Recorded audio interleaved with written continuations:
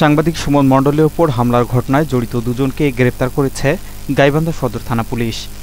আটককৃতরা হলেন নজমুল হক এবং অন্যজন মোহাম্মদ সেলিম মিয়া।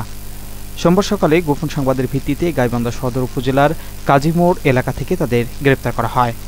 গ্রেপ্তারকৃত দুজনেই কুখ্যাত জুয়ারি বলে অভিযোগ রয়েছে সদর থানার এসআই বাপি কোমরের নেতৃত্বে পুলিশের একটি টিম রামচন্দ্রপুর ইউনিয়নের কাজীমোড় এলাকা থেকে সাংবাদিক সুমন মণ্ডলের ওপর হামলার ঘটনায় এজাহারভুক্ত দুই ও তিন নম্বর আসামিকে গ্রেপ্তার করে।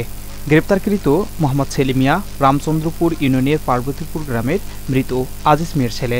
উল্লেখ্য, গত আটই মার্চ সংবাদ প্রকাশের জের ধরে গাইবান্ধা সদর উপজেলার রামচন্দ্রপুর ইউনিয়নের হাসপাতাল বালুয়া জুয়ারিদের হামলায় গুরুতর আহত হয় সাংবাদিক সুমন। হামলার পর জুয়ারি তার কাছে থাকা ক্যামেরাটিও সেনে নিয়ে চলে যায়।